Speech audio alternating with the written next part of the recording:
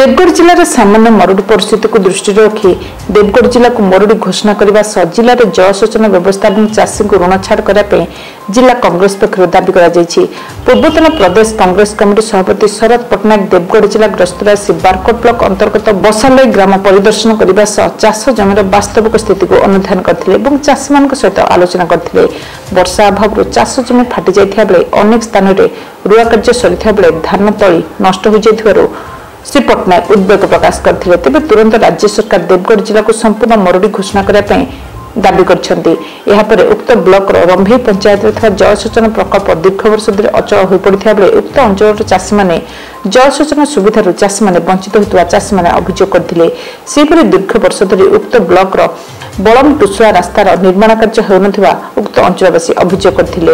ତାକୁ ରାସ୍ତାରେ ଆଠଟି ପଞ୍ଚାୟତ ନିର୍ଭର କରୁଥିବା ବେଳେ ଶୀଘ୍ର ଉକ୍ତ ରାସ୍ତା ନିର୍ମାଣ ପାଇଁ ଆବଶ୍ୟକ ପଦକ୍ଷେପ ଗ୍ରହଣ କରିବା ପାଇଁ ଅଞ୍ଚଳବାସୀ ଦାବି କରିଥିଲେ। ରାଜ୍ୟ ସରକାର ଶିଳ୍ପବିହୀନ ଦେବଗଡ଼ ଜିଲ୍ଲାକୁ ଅଣଦେଖା କରୁଥିବା ବେଳେ ଜିଲ୍ଲାର ଚାଷୀଙ୍କର ସମସ୍ୟା ସହ ସ୍ୱାସ୍ଥ୍ୟ ଶିକ୍ଷା ଏବଂ ଗମନାଗମନର ସୁବିଧା ନ କଲେ ଜିଲ୍ଲାରେ କଂଗ୍ରେସ ପକ୍ଷରୁ ବ୍ୟାପକ ଆନ୍ଦୋଳନ କରାଯିବ ବୋଲି ଚେତାବନୀ ଦେଇଛନ୍ତି।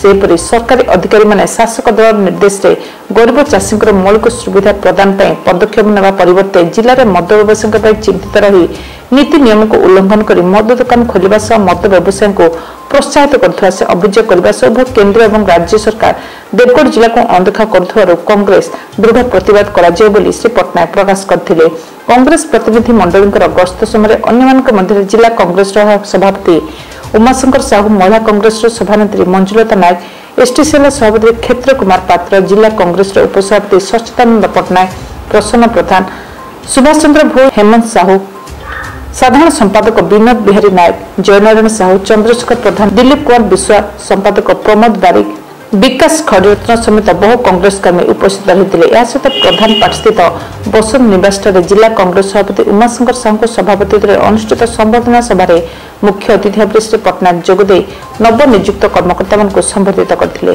Deogarh Shibashi Shankar Odisha mobile TV.